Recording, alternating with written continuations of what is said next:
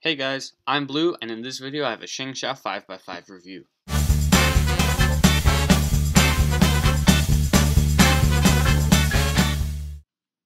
You can buy the ShengShou 5x5 from most cubing stores for around $10, which is about as cheap as 5x5s come.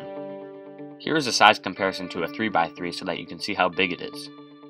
The turning on this puzzle is very interesting because it has a scratchy, bumpy feeling, but at the same time, smooth and buttery.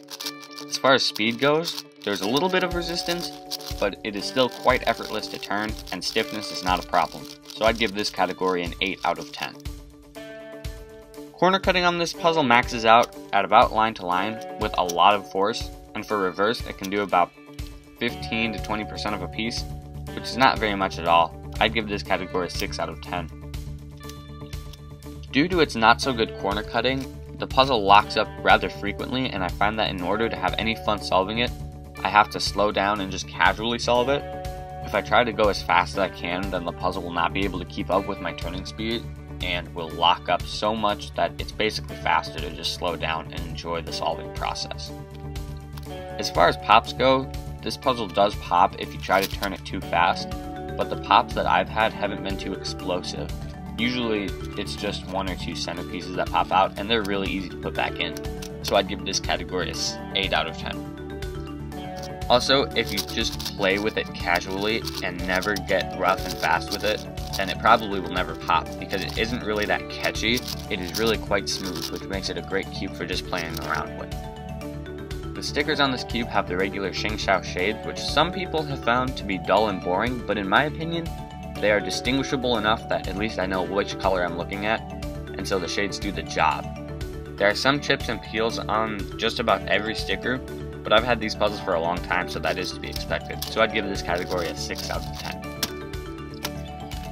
The plastic quality on this puzzle is pretty rigid and hard feeling, which makes it feel like if I were to drop it, it probably wouldn't break, so I'd give this category an 8 out of 10. But at the same time, the hard rigidness of the puzzle makes the turning quality go down a little bit. The puzzle doesn't have much flex to the pieces, which as I said before will cause lockups.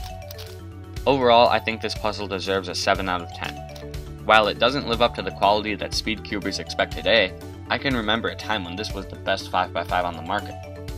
And it's still a good puzzle to get if you want a cheap 5x5 to just play with or maybe use it as a starting main. That's it for the review, but it's shout out Sunday. This Sunday I'm shouting out CubeStar. He's a YouTube cuber and he makes good videos and he makes really good um, thumbnails for his videos. They're very inviting. I'll leave a link in the description to his channel. You should totally go check him out.